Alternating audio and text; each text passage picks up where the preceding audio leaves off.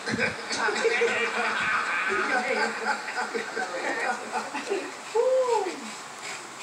tell you what, boy, your mama Elsie had a gift.